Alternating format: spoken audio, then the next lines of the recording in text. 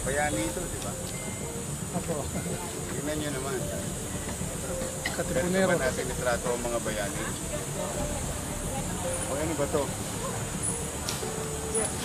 Grabe, paboy na paboy ko. Basta sanitize nyo. Kasi babalik natin to as part. Puntahan po ba natin yung shrine? Cartilia. Pangin na rin yata ito.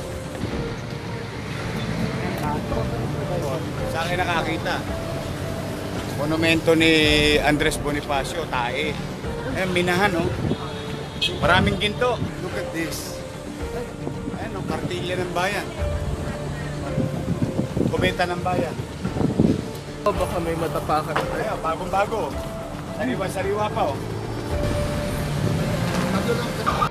Ayan. Sa likod ni Bonifacio may tae. Sa paanan ni Bonifacio may tae. Katabi ng opisina ng alkalde. Sino swerte? Yayaman. O, ayan, tae. O, Saan po? Pakitin patingin nga po. swerte raw yan. Magkakapera ako. Ayan, tingnan niyo ninyo mga kababayan.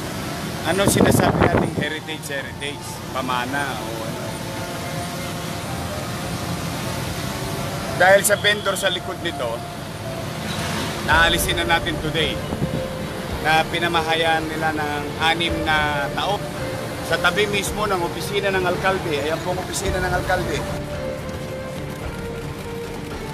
Sabat! Hindi na, alam mo, ito, parang hindi naman sa pag-ano, hindi na makatwiran to. This is too much. Parang ano lang, oh, uh, reminiscing. Nung 10 years old ako.